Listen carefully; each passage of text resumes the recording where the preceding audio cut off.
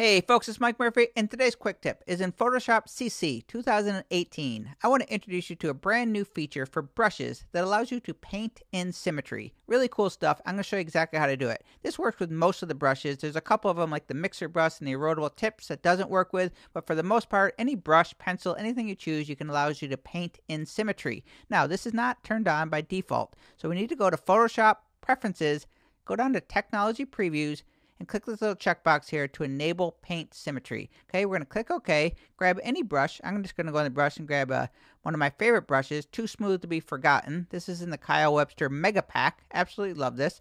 Okay, so once symmetry is enabled in the Photoshop preferences, when you tap on the B key for the brush tool, you're going to see this little butterfly. This is a symmetry menu. I'm going to choose this first one here, New Vertical you can see this line here. There's a little bounding box around it, meaning that I can move it around, I can rotate it, I can get it the way I want. And when you want to commit to that shape, you just click the little check mark up here, or just tap on the enter or return key to commit that. If you ever want to change your mind, you want to go back and transform it, you can always go back into the butterfly and transform symmetry, and it'll get the bounding box back. But I'm going to hit the enter or return key. Now with my brush key enacted, activated, make sure that I'm on a fresh layer that I want. I just simply start painting, and you can see it is mirroring whatever I'm painting on both sides of that line.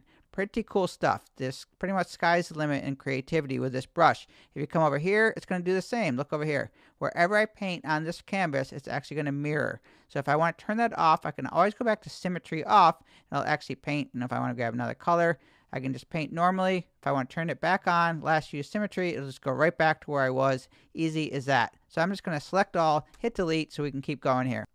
Okay, so just grab your favorite brush, your favorite pencil, just click, create a new layer, go to the butterfly, choose one of these pre-mades or draw your own with the pen tool. We'll choose this wavy one, transform it however you want, resize it. You can always put in the numbers up here, hit enter or hit the little check mark, then just start painting or do use brush strokes, draw on it.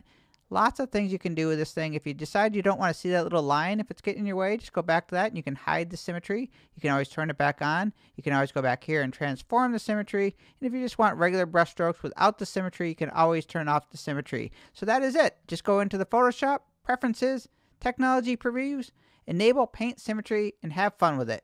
Cheers.